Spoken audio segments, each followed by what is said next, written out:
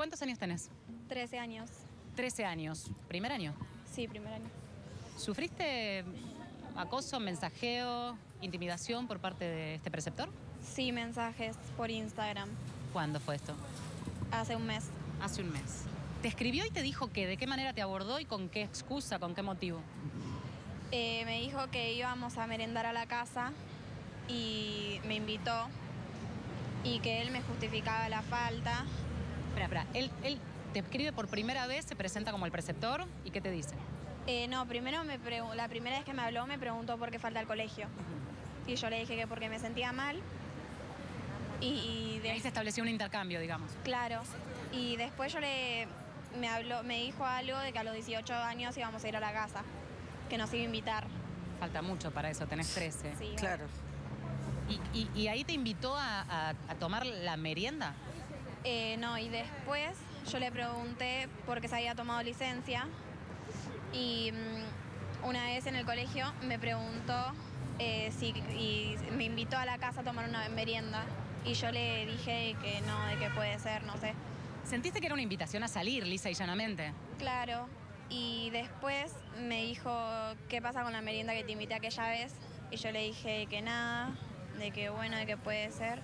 Y después me dijo, bueno, mañana no entres al colegio y, y te pasa a buscar, eh, vamos a desayunar y vamos a mi casa.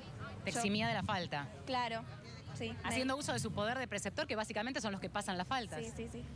¿Qué sentiste, digamos? ¿Qué, qué, qué sensaciones te dio? Quizás de confusión, quizás de no saber de qué manera responder.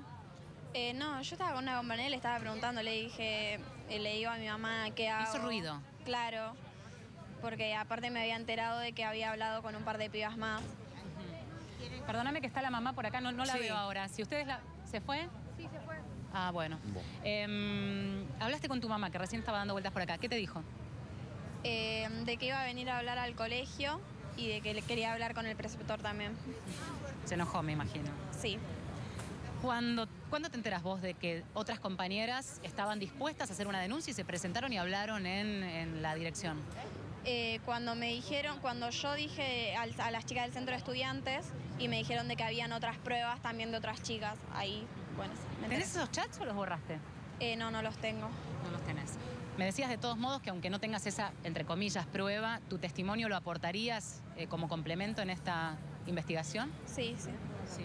¿Qué sentís ahora que de alguna manera todas se animan a contar, que empieza a haber una repercusión concreta, que entendés que esto, eso que te hacía ruido ahora tiene un nombre y que se llama acoso y que, y que es inapropiado completamente?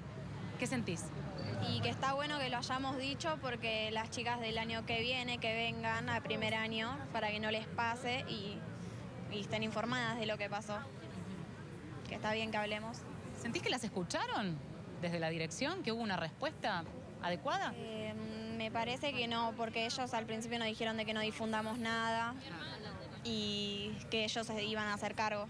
¿Les dijeron que no difundan nada?